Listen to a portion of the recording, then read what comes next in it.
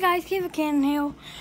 I have an indestructible RC car, RC truck. And you know why? Because I wham it down the basement. Mittens, you might want to move. Seriously.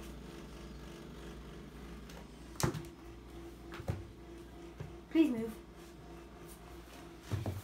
Mittens. Oops, sorry. Stepped on the tail. Ready?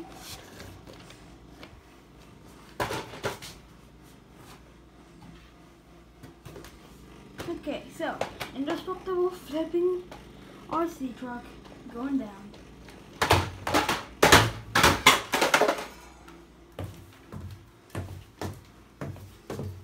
Let's take a look at the damage. Oh wait. Oh wait, guess what? There was no damage. Like whoa.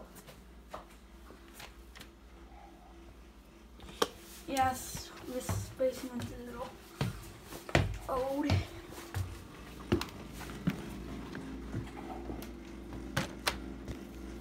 It's all fine.